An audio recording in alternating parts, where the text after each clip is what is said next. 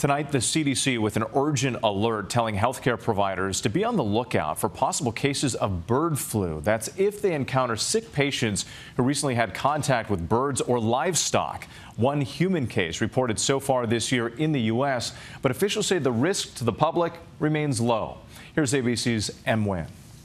Tonight, the CDC warning healthcare workers and the general public about bird flu after a person in Texas tested positive this week in what is believed to be the first cattle to human transmission. This avian flu has now shown up in, in cows for the first time and has now infected a, a farm worker. But overall, the risk to the public currently is low. The virus, also known as H5N1, has been discovered in livestock across six states since March and in birds across eight states in the past 30 days, according to the Department of Agriculture. Cal-Maine Foods, the nation's largest supplier of eggs behind major brands like Eggland's Best, halting production and killing about 2 million chickens to prevent the illness from spreading. There is no risk to those that are consuming dairy, and meat products. Officials stress only two cases have ever been discovered in humans in the U.S. The CDC says symptoms include eye redness, cough, sore throat, and fever,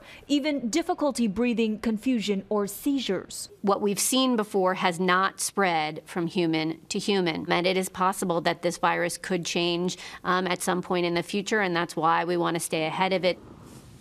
Em Nguyen joining us now from Washington. So, Em, what should consumers keep in mind for their egg and poultry products?